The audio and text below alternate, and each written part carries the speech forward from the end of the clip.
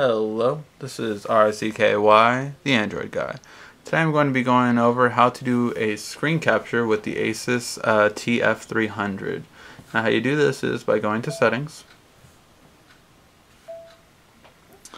and then you go to I believe it is I kind of forgot how to do it so I'm just checking it real quick I think it's customize Yes.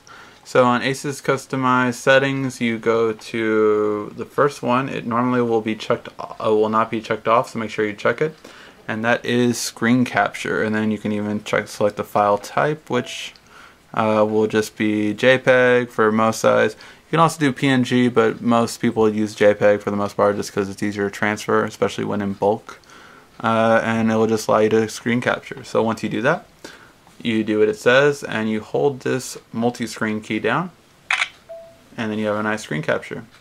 And once you have that you can actually touch it right then and there to go right to it.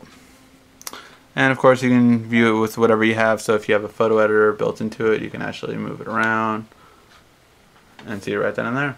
So that's how you do a screen capture on the Asus TF300 Thanks for watching guys. This is RCKY, the Android guy.